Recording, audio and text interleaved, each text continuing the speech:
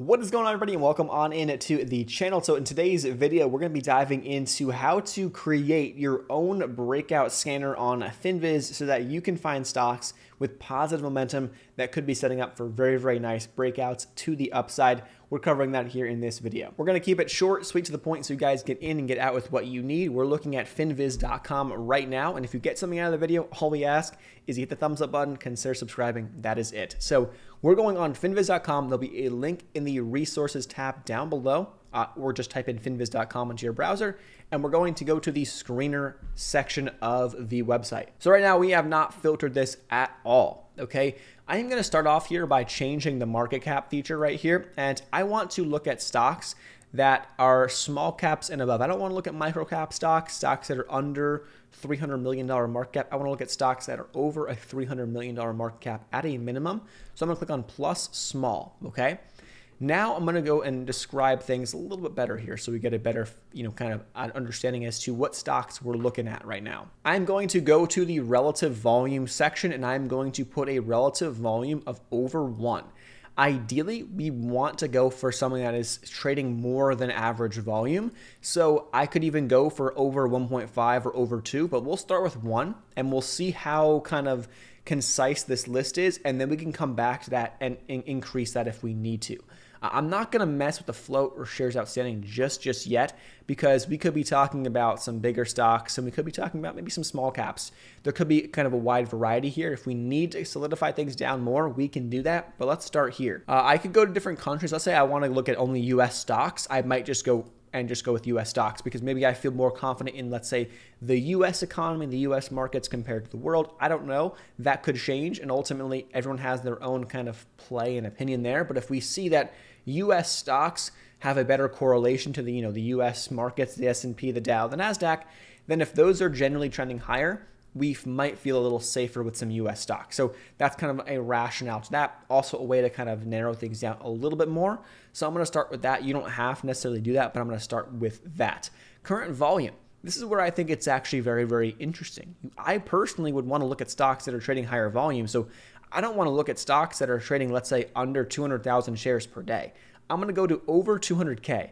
Now we can see at the bottom of our screen, we start to solidify things down. We have 37 pages. Still a lot of stocks to go through, but we're bringing this down uh, one by one. Maybe I'm going to go back to this and go to over 500K volume and see how narrow this list is. Okay, now we're down to 26. Let's do that. So we want stocks that are trading at least 500,000 shares every day so we know that there's volume, there's liquidity there. If we want to trade these stocks, we shouldn't have a huge, huge issue. Okay, so there's over 500K volume. Now I'm going to go to the fundamental section. From right here, personally, I don't think this is a huge, huge category when you're looking at breakout trades because this could alter some things. Ultimately, we're playing momentum for breakout trades. Obviously, having a good fundamental back to the company is helpful, but sometimes looking at some of these things, you could end up cutting out stocks that maybe there was really good opportunity. But in this case, what I'm going to do is I'm going to look at sales growth over the past five years, and I want to see something that has a positive sales growth over the past five years. Now we're down to 14 stocks. So we can solidify or narrow things down a little bit with fundamentals even though the breakout trade is much more of a technical momentum based kind of trade in nature. So we can kind of narrow things down. You might want to go into certain things like the PE ratio, price to cash, and you can narrow things down further. We can come back to this, but we'll start here and now we'll go deeper into the technicals.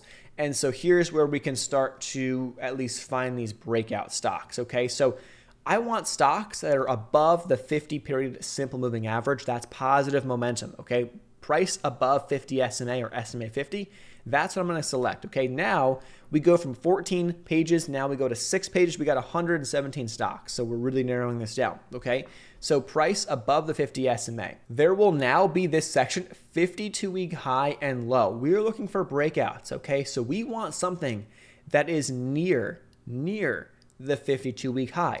We could play something that's hitting new highs, but I also want to be there when it breaks for a new high. And so maybe I want to create a watch list of stocks that are up towards their highs, that are setting up for breakouts, that I want to have on my list and I can watch every single day and I can always refer back to them if they break out. So I'm going to go right here and I'm going to click on 0 to 10% below the high.